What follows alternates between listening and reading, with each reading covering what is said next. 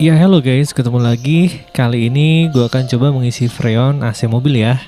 Bahan-bahannya yaitu freon 134A. Kebanyakan freon mobil AC mobil itu pakainya R134A ya. Sama seperti freon eh, kulkas. Kemudian di sini ada can tapnya untuk eh, keran si freonnya. Kemudian persiapkan juga di sini ada quick coupler buat sambungin ke pipa eh, AC mobilnya. Kemudian manifold pastinya di sini gue manifoldnya cuman satu ya, bukan double, cuman low pressure doang. Eh, di sini siapin juga eh, selangnya juga. Yang pertama-tama harus dipersiapkan adalah kalengnya dulu. Kaleng freonnya dipasang keran freon ya. Oke. Kerannya dipasang dulu ke kaleng freon.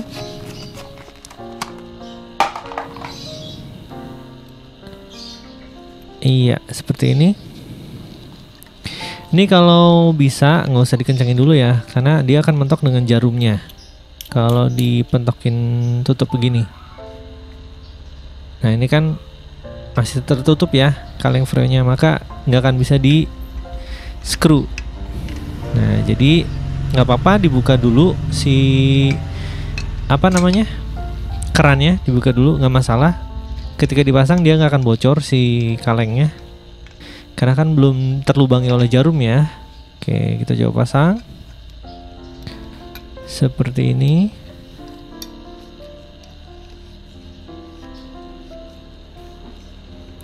Ya, pasang sampai kenceng. Ya. Kalau sudah yakin kenceng, dikencengin lagi ininya, kunciannya, ringnya. Kemudian kita tutup untuk melubangi kaleng tadi. Nah, setelah itu kita coba tes sudah terlubangi apa belum ya. Kita buka. Nah, ada ada suara. Nah, oke ini udah sudah terlubangi, udah bagus. Kita tutup lagi. Ya, freon sudah siap. Kemudian selang kita pasang dulu ke manifoldnya. Untuk yang bagian tengah itu ke AC, ke AC mobilnya. Untuk yang bagian samping itu ke freon. Ya, pasangnya terserah yang mana dulu. Ini gue pasang yang bawah dulu ya.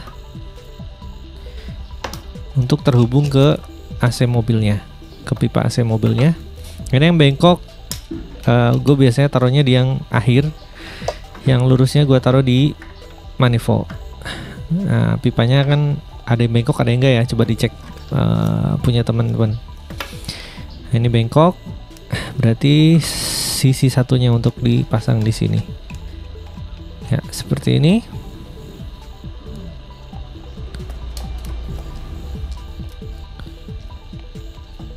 Oke, make sure udah kenceng, jangan sampai bocor, ada kebocoran.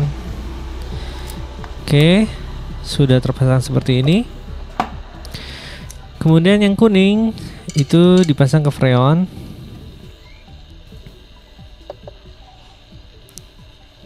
Iya, pastikan kencang juga biar tidak ada kebocoran.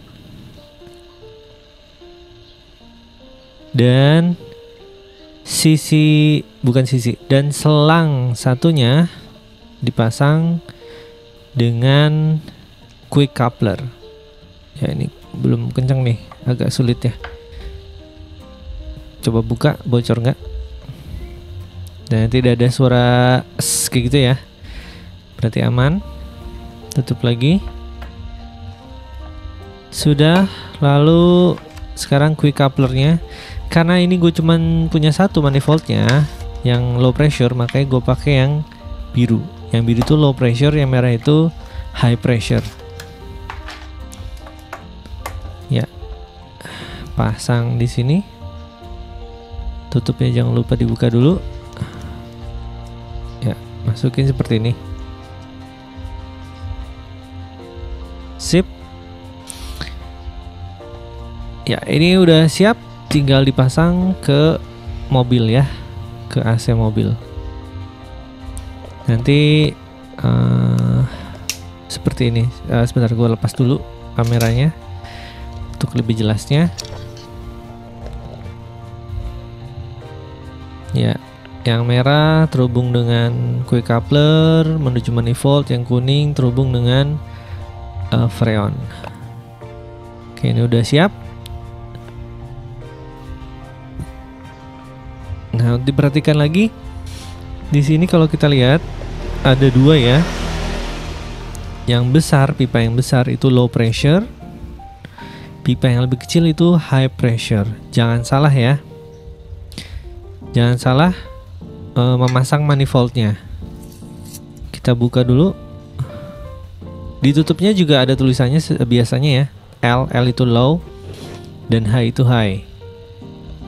Oke ya jangan sampai kebalik.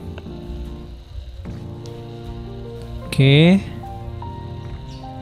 Kemudian kita pasang. Dan sebelum kita melakukan pengisian kita make sure dulu kelihatan gak ini ya? Biasanya penjelasan freon yang dipakai di mobilnya itu ada stikernya. Entah itu di cupnya atau di pipanya di sini nih. Kalau sudah make sure sama R134 dan betul baru kita uh, proses pengisian. Oke, kita pasang dulu quick couplernya.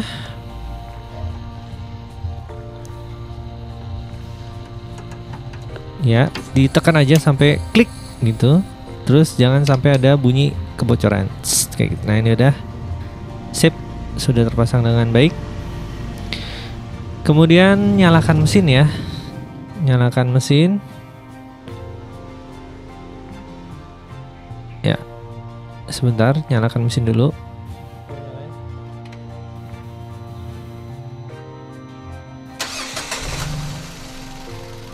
Nyalakan mesin kemudian nyalakan AC nya nanti terlihat pressure aslinya ya. Nah pressure-nya ini cuman dikit doang nggak gede-gede. 20 sampai 35 PSI PSI nggak gede-gede banget. Nah ini kita lihat dia cuman sekitar 15 PSI jadi kita coba tambah ya. Di video ini gue cuman uh, tutorial atau sharing bagaimana cara mengisi freon ya. Kalau lebih dari itu misalkan ada kebocoran nah itu gue nggak sanggup. Karena ngebongkarnya nelusurinya susah kalau mobil ya. Oke dilanjut persiapan pengisian ya ke sebentar. Oke biar kelihatan di kamera jarumnya. Yang pertama-tama dibuka adalah keran yang di manifold. Buka sampai penuh. Kemudian jungkir balikan kaleng. Sembari kita buka kalengnya kita lihat dia naik apa enggak. Nah kalau lihat di stiker mobilnya ya AC-nya dia butuh 0,4 kg sekitar 400 gram. Ini kalengnya 390 gram ya. Kita buka sampai bunyi extra fan-nya mati.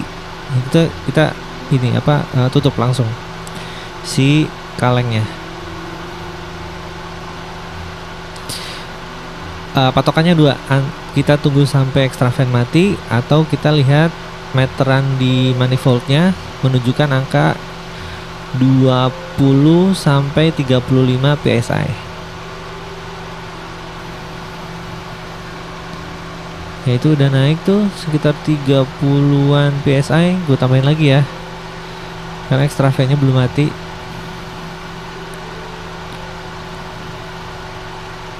Gue kasih 35 aja ya, 35 PSI maksimalnya itu 40 psi oke goyang-goyang juga uh, kalengnya biar semuanya masuk. Nah ini extra fan nya udah mati. Dan dia standby di berapa itu? 35 ya? Oke sip. Kalau extra fan nyala dia di 20 psi kalau extra fan mati dia di 35 psi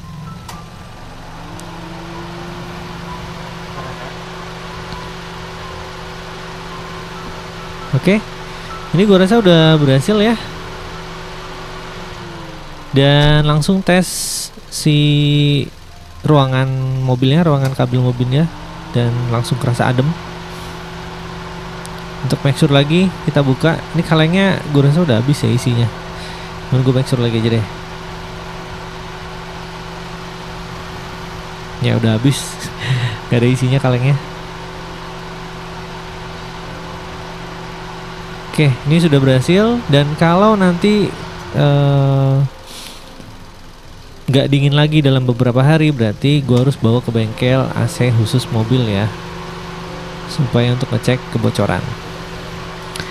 Ya ini uh, summary-nya sebelum dan sesudah sebelumnya 15 psi dan sesudahnya 35 psi. Oke, okay, thank you for watching. Terima kasih sudah nonton. Jangan lupa like, share, komen, dan subscribe-nya. Thank you ya. Bye-bye.